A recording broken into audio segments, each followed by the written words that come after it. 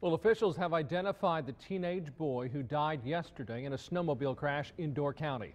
That crash happened around 4:30 last night in the town of Brussels on Highway County C near Swamp Road. Officials say 13-year-old Brett Burr of Brussels was crossing the road when his snowmobile collided with a truck. Burr later died at a Green Bay hospital. The 47-year-old driver of the truck was not injured.